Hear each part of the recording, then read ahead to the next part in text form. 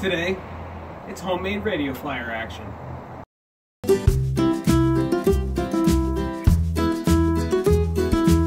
First, I cut a piece of 1x1 angled steel that's going to span the width of the wagon. And then I cut two pieces of 1x1 steel tubing that's going to go in the ends and support it so I can drill through to attach the spindle housings. After I get those welded on, I have to cut off a few pieces where the actual spindles are going to be drilled into. Before I can attach the spindle housings, I need to cut two more pieces of steel that I can weld onto the spindle housing and then drill through all of the pieces and attach them with a bolt. Although I'm not building precision equipment here, I try to align everything as carefully as I can before I weld it up because it's going to make the final assembly just that much better.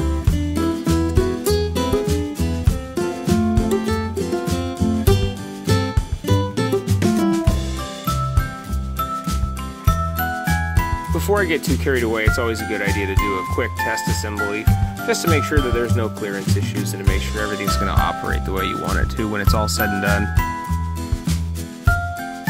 After the spindle housing is tapped, I'm able to insert the actual spindle, which is made out of 5 8 11 all thread.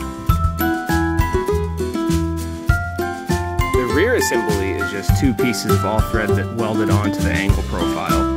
There's no moving parts so it doesn't have to be overly complicated.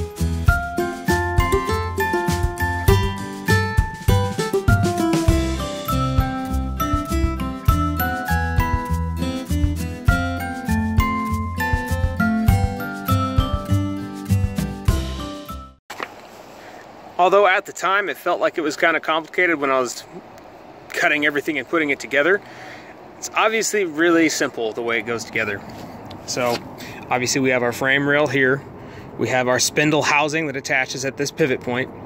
The spindle itself is 5 8 11 all thread, and so I just threaded this and screwed it in.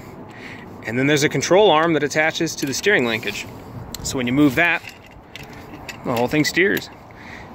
I am actually really happy with how this turned out. I've seen radio flyers where they just have the wheels are actually fixed and then the whole thing pivots.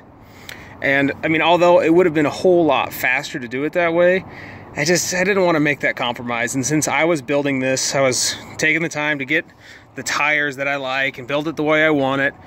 I wanted to have the steering the way I wanted it also. And it didn't have to be that complicated. It didn't cost any more really.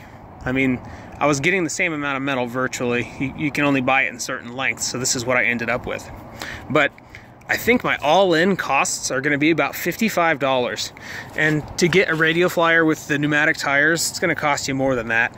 And like I said, this one's going to be customized a little bit, so it's going to be the way I want it. And I think I'm going to get a lot more uh, joy out of using it because it's the one that I want. Probably going to replace the handle though.